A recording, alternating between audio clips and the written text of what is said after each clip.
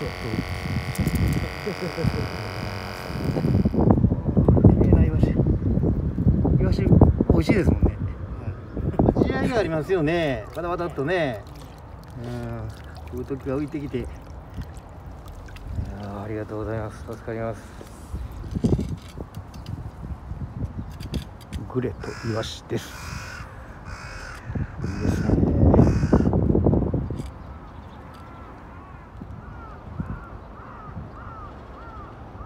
上巻きが効きますよね。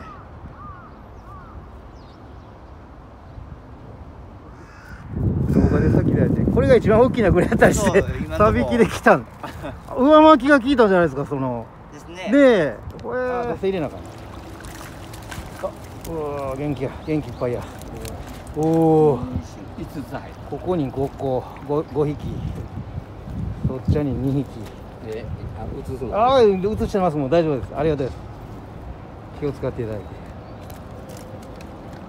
お前大きい大きいおどれしか？ああ大丈夫です。全然大丈夫です。ありがとうございますこれぐらい釣れたら言うことなし。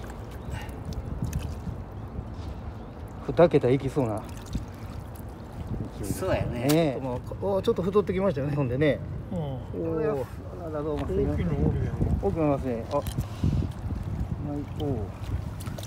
おおろおでかいね30クラスがこれあこれが来たらもううわでかい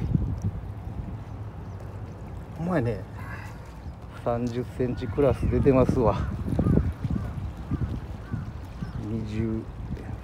223から25が10匹間は7時台。西側の一番南側です。ポイントは日によって変わるとのことです。今日はだいぶ遠投ですね。まあそれも日によってってとこでしょう。サバも釣れてます。2 2 3センチ。